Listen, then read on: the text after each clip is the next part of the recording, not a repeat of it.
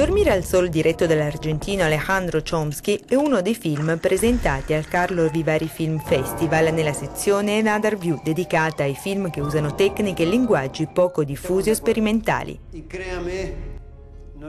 Ispirato al romanzo dello scrittore argentino Adolfo Bioy Sazares, il film è un buon esempio del cosiddetto realismo magico sudamericano in cui la fantasia si mescola con elementi reali.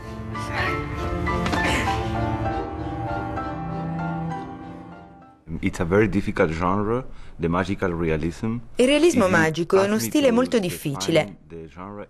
Se mi chiedi di definirlo in una parola, direi che è un lavoro di genere fantastico.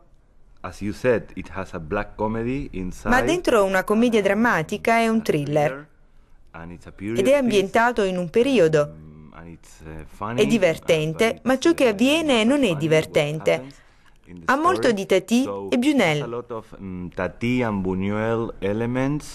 Alejandro Chomsky crea un'atmosfera surrealista inquietante con il suo sorprendente e particolare stile visivo, in una storia kafkiana di vita familiare e malattia mentale.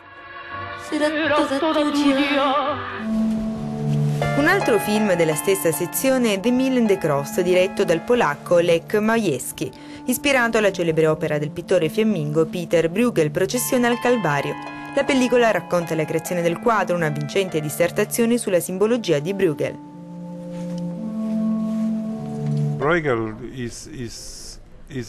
Bruegel è un attore in grado di creare un suo mondo, nel quale ho abitato molto tempo fa. Ho trascorso molto tempo di fronte a quest'opera a Vienna. Riesce sempre a risucchiarti. Entri nel suo mondo come accade con Fellini. La combinazione di tecniche vecchie e nuove permette allo spettatore di entrare nel film dove la narrazione lenta, quasi meditativa, contribuisce a trasportarlo in un'altra epoca.